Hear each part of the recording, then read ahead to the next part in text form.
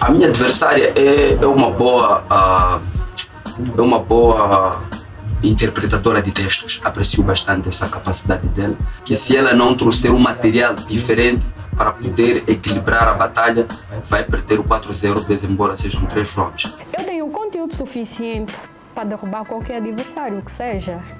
E não vou me intimidar por comigo qualquer que provavelmente aprendeu a fazer batalhas de freestyle vendo as minhas batalhas, acha que eu rimo conteúdo alheio. Então vamos fazer assim.